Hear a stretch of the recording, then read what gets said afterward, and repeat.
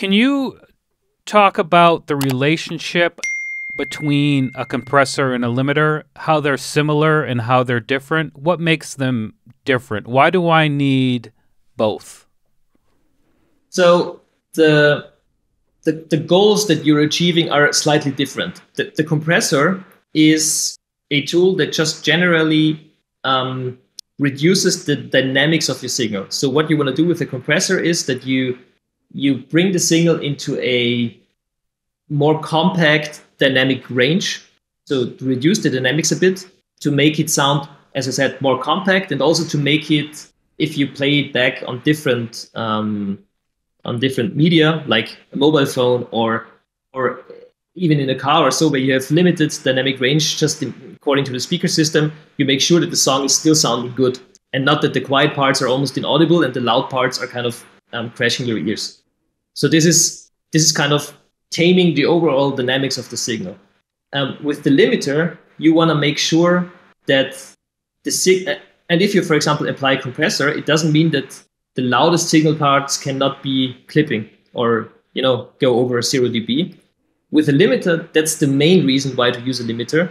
You you just want to make sure that you don't have a hard clipping signal. So what this what the limiter like a, what a classical limiter is doing, it just looks at the signal um, level, and as soon as you reach zero dB, it starts um, rounding it off, like so that how do you say that? So that it doesn't just cut the signal at zero dB, but you kind of get a smooth transition between slightly below zero and uh, zero.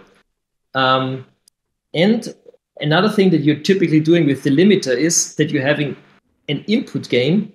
Uh, and with this input gain, you kind of move the, the peaks of your signal to hit the limit. So you're using the limiter normally to, I mean, you could either just use a limiter as a kind of safety net so that if you if you go over a certain level that it, it doesn't clip but normally you would kind of um, set the limit like minus 1 dB and then you to use the gain you can see that in the visualization and then you deliberately and you can actually see what's happening so the, this, the, the light gray is the input signal this is the gained input signal the dark gray is how the signal would look like without limiting if you would if, if it would be possible to display stuff above 0 dB and the red is the is the limiter. And the, what you want to do is you you squeeze the signal a bit into the limit so that your the peaks of your track are tamed and the whole signal itself becomes louder.